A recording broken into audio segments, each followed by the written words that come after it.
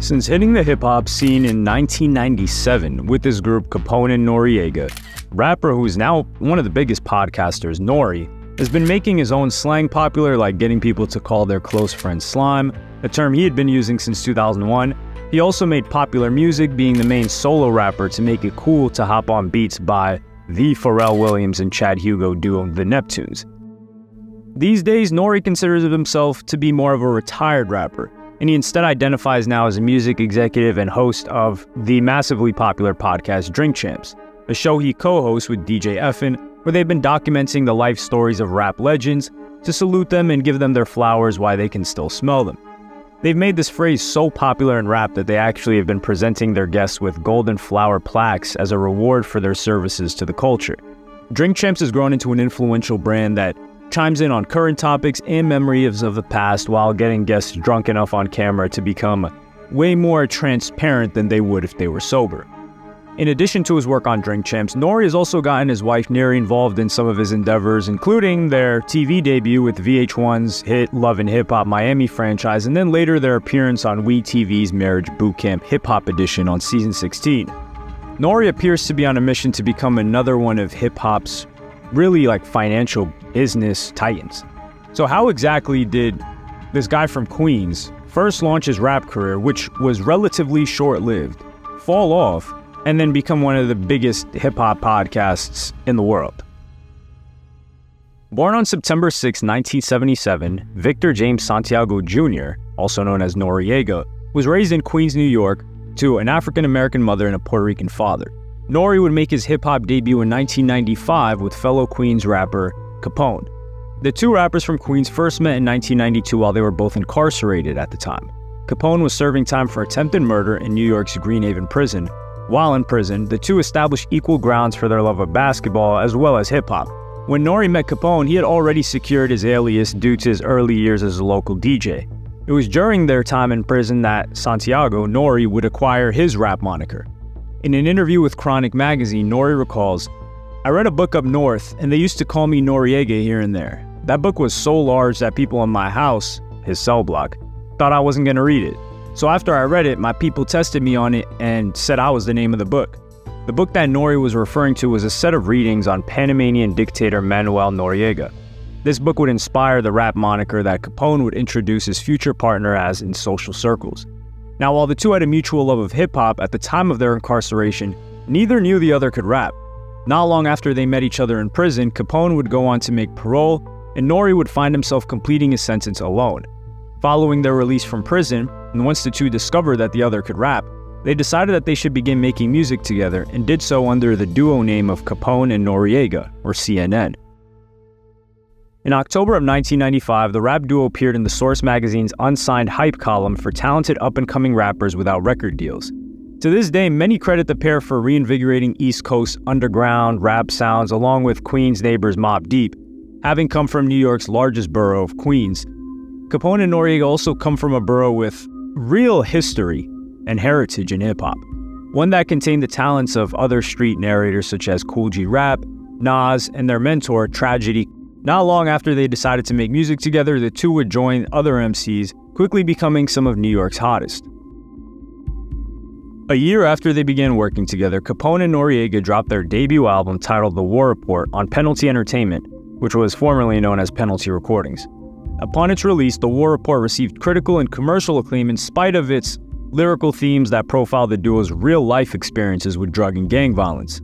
Among many in prominent hip hop circles, the album received praise for its use of New York City's traditional grimy boom bap sound when that classic approach to the culture was falling out of favor in the industry and being replaced by what some believed was a more danceable sound.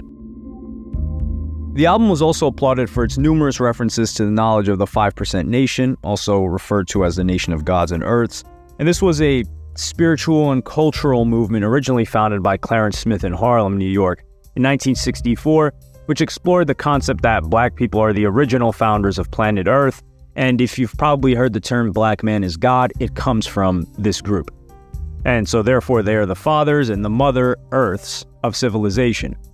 Like many of their hip hop peers, namely rappers such as Big Daddy Kane, Brand Nubian, Nas, and Wu Tang Clan, Capone and Noreaga would make multiple references to the 5% Nation throughout their wordplay, as in the case of using phrases such as sub G, Word is Bond, Drop in Science, and Represent.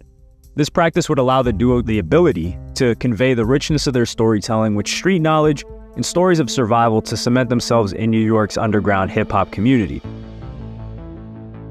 With the release of The War Report, many critics argue that Capone and Noreaga helped the late 1990s rap audiences put the focus back on inner city working class struggles, a move that would ultimately lead to the rise of rappers such as Jadakiss, DMX, and 50 Cent in the early 2000s. Capone and Noreaga witnessed their work peak at number 21 on the Billboard 200, and its leading singles, Legal Life, Closer, and Tony, top of New York, each chart on the Hot R&B Hip Hop Singles and Tracks chart. Interestingly enough, as the duo quickly became credited with reintroducing street elements back to the hip hop landscape, they also garnered the reputation of helping to fuel the rivalry that existed between the East and West Coast of hip hop by generating a direct retaliation to Snoop Dogg and the Dog Pound single New York, New York, which was a diss track and calculated satire of the East Coast, apparent waning credibility within hip hop culture. In their response, a recording titled LA LA, Capone and Noreaga called upon Tragedy and Mobb Deep as featured artists. In the accompanying music video, the rappers are depicted as kidnapping members of the Dog Pound and forcing them into the trunk of a car before tying them up and throwing them off a New York bridge. The moment which many argued occurred at the peak of the feud between labels as Death Row and Bad Boy Entertainment, reminded hip hop audiences of many altercations between the coasts that continued throughout the 90s and into the early 2000s. Despite forging a lucrative career with his partner Nori, unfortunately, just as things were beginning to look up for the duo, Capone was once again sentenced to prison after the courts deemed that he had violated his parole. This devastating news came down in 1996, just before their album The War Report was released the following year. This decision meant that Nori was left to complete the record without his partner in hip hop. And thankfully, while Capone couldn't be there, Nori secured the help of Mobb Deep and Tragedy Gaddafi, formerly known as Intelligent Hoodlum, to complete the project. In the case of Tragedy Gaddafi, not only did he share production credits alongside the likes of Marley Marl, DJ Clark Kent, and Buck Wild, but his flow was featured on over half of the album. Now, while Tragedy Gaddafi has never been an official, permanent member of Capone and Noreaga, this project would mark an important relationship for the three, as they're close collaborators even to this day. Many critics agree that so much of what made the War Report a critically acclaimed project was due to Tragedy Gaddafi's contribution. While Nori was waiting for Capone to be released from prison, he decided to embark on his journey as a solo artist. To begin this process, he decided to release his solo debut album titled Nori in 1998, which represented a shortening of his name and the acronym Niggas on the Run Eatin'. The album, which was also the reason that the rapper shortened and changed his name to Nori, went on to be a massive success, even greater than the duo's debut album. In addition to being certified as platinum by the RIAA, the album charted at number 3 on the Billboard 200, with guest appearances from fellow New York City rappers such as Nas, Kool G Rap, Big Pun, and Busta Rhymes, and with a slightly slicker production style than The War Report, the album helped bring in hip hop's new and future sound with tracks produced by then up and coming producers The Neptunes and Swizz Beatz. The album's singles would go on to score on the charts as well. For example, The Neptunes hit Super Thug, reached number 36 on the Billboard Hot 100. Encouraged by the massive success of his solo album, Nori decided to release a second solo album in 1999, titled Melvin Flynt the Hustler. Unfortunately, unlike his first solo album, the second attempt at a solo career was only a moderate success. Statistically, the album reached the top 10 of the Billboard 200, and it eventually became certified gold by the RIAA. Among the album's most successful singles was Oh No, which was also produced by the Neptunes. The same year as Nori's second solo album release, Capone was also released from prison. The two subsequently began recording music together again. This time they released their second CNN album titled The Reunion. Unfortunately, the album was not well received and it failed to match the commercial and financial success of the duo's debut or Nori's solo projects. While Capone remained present throughout the production stage of the project, just before the record was set to be released, he was unfortunately sent to prison yet again for violating a probation sentence on gun possession. Some argue that Capone being sent away was one of the major reasons the duo lost commercial appeal, even as his time in prison strengthened the duo's street credibility. These legal challenges meant that the two had to make an important decision, and they inevitably decided to go on a hiatus. Fans wouldn't hear back from the duo until 2009 when they would come together to release another album. Following the release of this album, not only did the duo have to deal with the critical and commercial failure of their album, but they had also become disillusioned by their move to Tommy Boy Records. The story behind this move was that in 2001, Capone and Noreaga had decided to leave Tommy Boy and instead move to Def Jam Recordings. While some might have argued that this was a good move given Def Jam's reputation as the premier hip hop label, the trouble for the duo was that this move led the pair to lose all rights to the Capone and Noreaga name given that their former label claimed that by breaking their contract early, the duo still owed Tommy Boy more Capone and Noreaga recordings. After the loss of their duo name, Capone and Noreaga decided to abbreviate their name to CNN. In addition, from that time forward, Noreaga was billed exclusively as Nori. In the interim, Nori would go on to release his third solo album in 2002 titled God's Favorite. Thankfully for Nori, his third album became a massive success. Not only did it peak at number 3 on the Billboard 200 chart, but it was later certified platinum.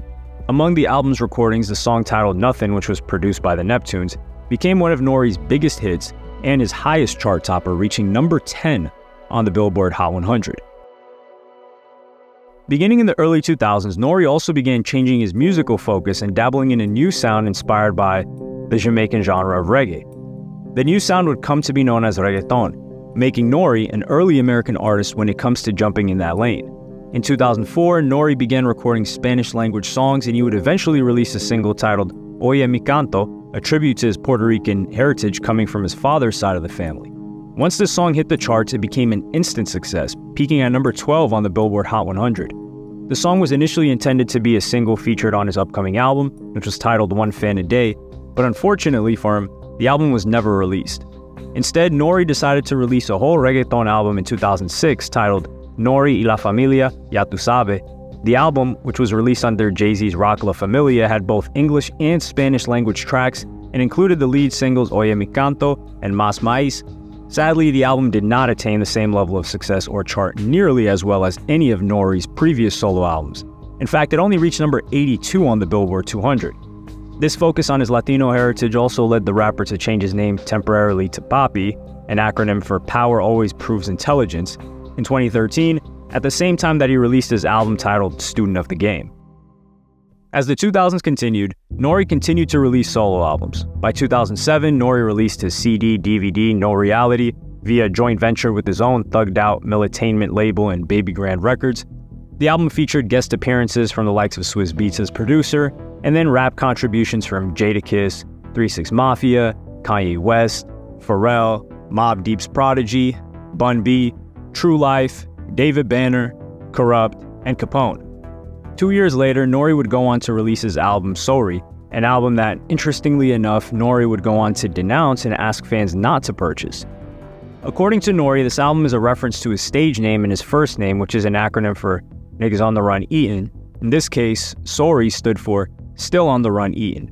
And the first time the term was used was in late 2007 when Nori released a song entitled Still on the Run Eatin' featuring Lil Wayne.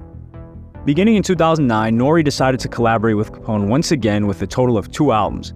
The duo would release their third studio album titled Channel 10. Yet again, the material that the two rappers put together would moderately chart. It reached number 136 on the Billboard 200 this time. A year later, they would release a fourth Capone and Noreaga album titled The War Report 2, with the leading single titled Hood Pride that featured the R&B star Faith Evans. A year later in 2011, June, Fellow rapper Busta Rhymes announced on his Twitter account that he had officially signed Nori to his newly founded record label titled Conglomerate Records. Two years later, in September of 2013, Nori took to MTV to announce his next album, a project titled Melvin Flynt 2 The Final Hustle. He told audiences that this project would be his final album, and once it was released, he would stop touring and releasing solo albums. Instead, he would be focusing on being a music executive and CEO. While Nori did announce that this would be his last album, fans never got that album. After a lengthy career in the music business, with most of the latter half being him slowly falling off, Nori teamed up with DJ Effin in 2009 to begin transitioning into a career in broadcasting. Together, the two artists began hosting a satellite radio show for SiriusXM called Militainment Crazy Raw Radio. The title of the show gave equal weight to and was drawn from Nori's Militainment brand, Effin's Crazy Hood, and to 66 Raw, the channel on SiriusXM which carried the show and this show ran from 2009 to 2011. In addition to his time on the radio, Nori also began appearing on television. namely the television series Marriage Boot Camp Hip Hop Edition, where each of the couples who are featured on the series gets counseling and participate in games and challenges, and later Nori showed up on Love and Hip Hop Miami. Married since 2009, rapper Nori and his wife Neri decided in the 2000s to join the broadcasting world by documenting their marriage. Nori claimed that he got involved because he witnessed how the show positively impacted people, particularly those people that he knew closely. And so when he was called to participate, he jumped at the opportunity. When asked what made for a successful marriage, Nori stated, I'm loud and boisterous. I'm always into something. And she's quiet. A lot of times people want to marry, you know, the person that best friend or the person that acts like a best friend. Really, sometimes it's really, really just about making your life work. Like, you know, in a lot of ways, she's like the opposite of me, and we balance each other out. The couple, each of whom is a huge fan of Marriage Bootcamp, claims that they have watched all iterations of the show and really wanted to be a part of the franchise, especially after seeing their good friend Styles P and his wife on the series. According to Nori's wife, one of the reasons for joining was to deal with their issues head on, she claimed. Nori and I are very private as far as you know. Being in the limelight with our relationship, there's more than what people see. This is an opportunity for us to, you know, tell our problems and get help because we never had counseling before.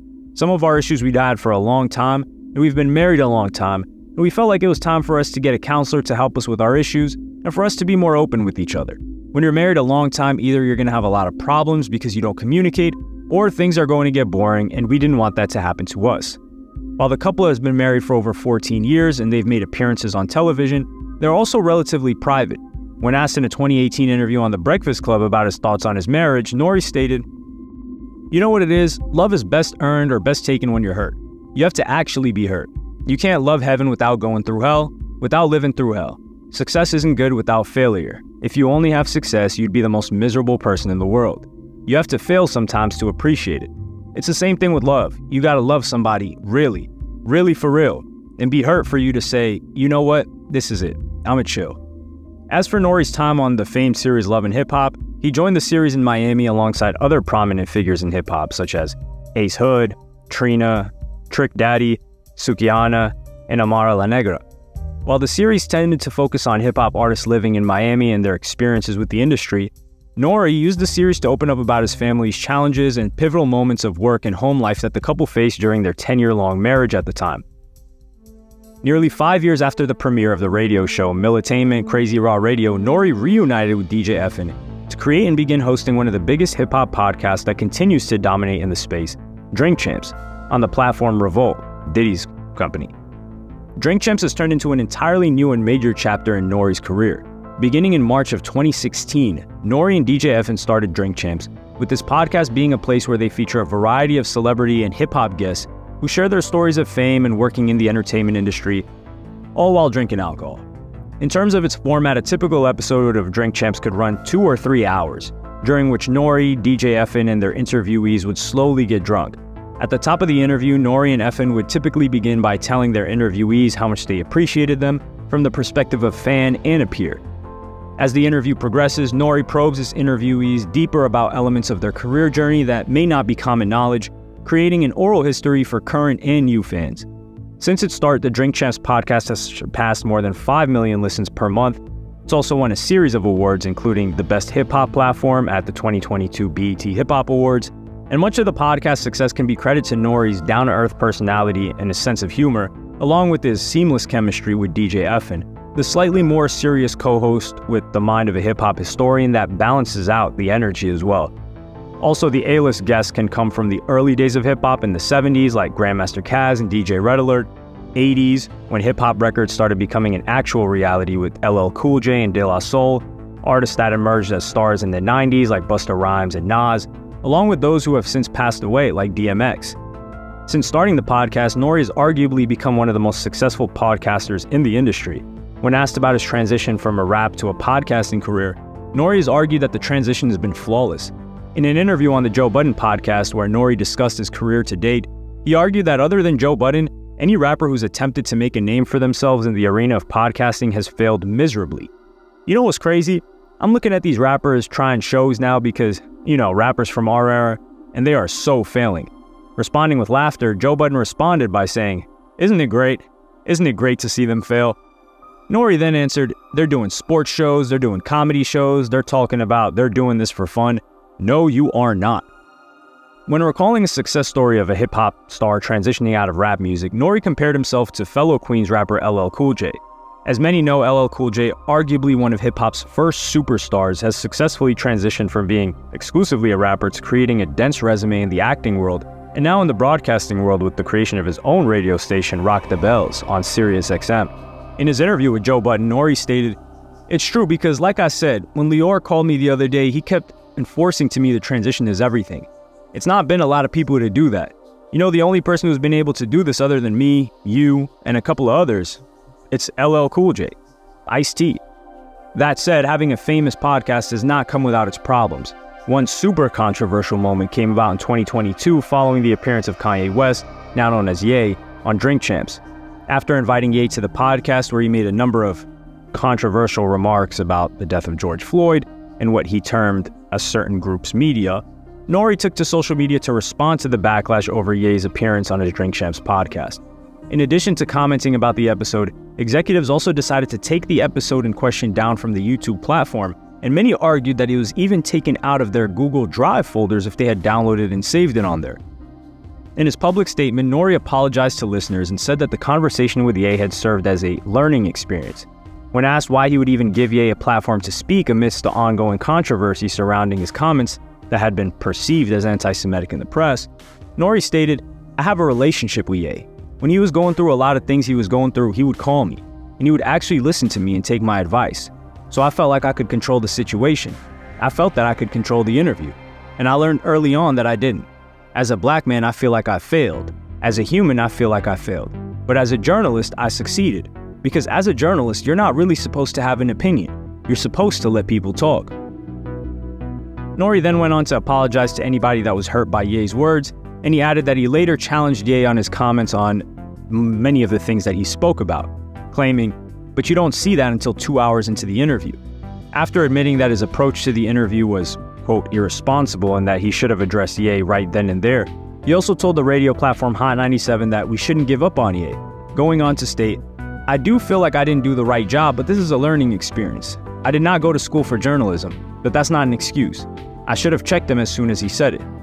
Recently, Nori even used the podcast platform to discuss the history of his own artistry, particularly the Capone and Noreaga debut album, that got his entire career rolling forward. The War Report during an episode of Drink Champs that honored the album's 25th anniversary. Over the course of the episode, Nori and DJ Effin were joined by Capone, Tragedy Gaddafi, and Neil Levine, the founder of the album's record label, Penalty Recordings. In their discussion, Capone and Nori recalled how they met for the first time while incarcerated, in addition to swapping inside jokes, reminiscing about the past, hashing out old beefs, and making amends, the many people around the table also lamented the current state of the industry and how it's currently run by analytics rather than by curious, passionate A&R talent scouts that are invested in building lasting careers. In January of 2023, it was announced in the press that Nori and DJ Effin had inked a new distribution deal with Warner Music Group. This new deal would bring the audio version of their Drink Champs series to the label's in-house podcast network. Now in its eighth year, Drink Champs will be distributed via Interval Presents a newly formed network and will join a growing number of culture driven podcasts such as the Rap Radar podcast. According to the network, the Drink Champs premiere episode will be available on all streaming platforms on January 27, 2023, and the visual edition of the show would still continue to be distributed through Revolt. According to the team at Interval Presents, they've been watching the podcast rise since its launch, and they argued that its irreverent and unconventional format attracted them.